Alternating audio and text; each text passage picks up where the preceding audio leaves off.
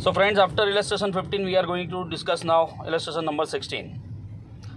As you can see, the health department has implemented a certain policy for the industrial unit in the year 2003 to control the possibility of cancer due to chemical process which is hazardous to the health of workers employed in the industrial units of certain industrial area who are residing in the same area अब ये सब story है। आप खाली 2003 को पकड़ो, बाकी जो भी लिखा हुआ है उसमें कोई इतना खास ध्यान देने की ज़रूरत नहीं है। To evaluate this policy a survey was conducted about deaths due to cancer of persons in the different age group the following data are obtained from the year 2003 and 2008 2003 और 2008 से हमको डेटा दिया है तो आप समझ सकते हो कि 2003 जो होगा वो हमारे लिए बेस ईयर होगा और 2008 जो होगा वो हमारे लिए करंट ईयर होगा।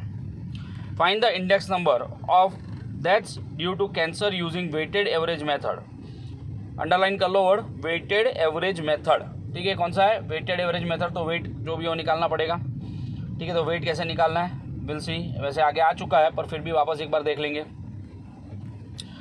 By taking the population of this industrial area in the year 2003 as weight and inter, interrupted.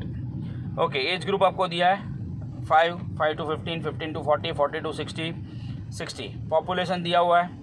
In the year 2003 death दिया in the year 2003 death दिया है in the year 2008 fine. Now, what we are suppose to do हमें क्या करना पड़ेगा? तो एक तो वेट जो पॉपुलेशन दिया वो हमारे लिए वेट का काम करेगा। राइट टू थाउज़ेंड थ्री का जो पॉपुलेशन है। अब एक और चीज़ की ज़रूरत पड़ेगी आई क्यों? क्योंकि आपको याद होगा वेटेड इंडेक्स नंबर का जो फॉर्मूला है sigma I W divide by sigma W बराबर? तो डब्ल्यू तो मिल गया वेट अब हमको एक और चीज़ चाहिए और वो क्या चाहिए? आई चाहिए। तो आई का फॉर्मूला क्या है? P one divide by P zero into hundred right so what is P one two thousand eight का जो डेटा है वो हमारे लिए पी वन है और टू थाउज़ेंड थ्री का जो डेटा है वो हमारे लिए क्या है? पी ज़ीरो है राइट तो यहाँ पर P one divide by P zero into hundred करेंगे तो हमको आई मिल जाएगा। उसके बाद क्या करना है? आई डब्ल्यू मतलब आई आपके पास जो आया, जैसे कि आप देख सकते हो लेस देन फाइव वाले में आपका आई आया है थर्टी टू पॉइंट फाइव ठीक है? तो वो थर्टी टू पॉइंट फाइव को आपको किसके साथ मल्टीप्लाई करना है? टेन के साथ। तो मल्टीप्लाई करके आपके पास आंसर आ जाएगा three twenty five in the same manner आपके पास आई कितना है? Sixty eight point ninety seven into eight करोगे तो वो आपको मिल जाएगा।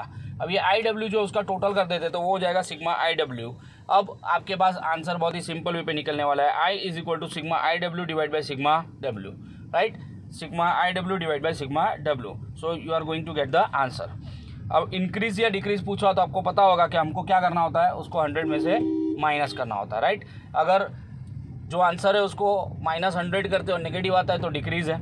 जैसे इन लोगों ने क्या किया? Hundred minus seventy point seventeen किया है। पर एक्चुअली देखा जाए तो हम नॉर्मली ऐसा करते हैं कि seventy point seventeen minus hundred तो वो ऑटोमेटिकली नेगेटिव हो जाएगा। तो उसका मतलब हो जाएगा कि वो डिक्रीज हो रहा है। या फिर अगर मान लो सौ से ऊपर आंसर होता तो सौ से ऊपर आंसर होता तो हम कहते हैं ये इंक्रीज हो रहा है राइट तो in this manner we can conclude के वो डिक्रीज हो रहा है कि इंक्रीज हो रहा है।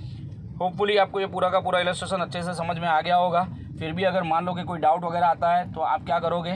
आप कॉल कर सकते हो, पूछ सकते हो, ठीक है? और अगर अभी तक आपने इस चैनल को सब्सक्राइब नहीं किया है तो प्लीज़ सब्सक्राइब द चैनल और उसके बाद नीचे एक बेल आइकॉन भी दिखेगा। वो बेल आइकॉन जो है, उसको आप हिलाना मत भूलना और उसमें भी ऑल टिक कर देना ताकि आपको सारे के सारे वीडियोस जो है वो मिलते रहे। और अगर आप दूसरे किसी की हेल्प करना चाहते हो, आपके फ्रेंड की या उसकी जो ट्वेल्थ स्टैंडर्ड में है, जो ट्यूशन नहीं ले सकता है या फिर ट्यूशन ले रहा है, पर उसको वहाँ समझ में नहीं आ रहा है तो आप उसके साथ ये चैनल जो है उसको शेयर कर सकते हो। और अगर आप शेयर करो तो मुझे ज़रूर बोलना, क्योंकि कुछ ना कुछ रिवॉर्ड हम भी आपको दे देंगे उस शेयरिंग के बदले में right so best of luck for this illustration go through this illustration and if you find any difficulty, then in that circumstances, please free to call. Thank you. Thank you very much.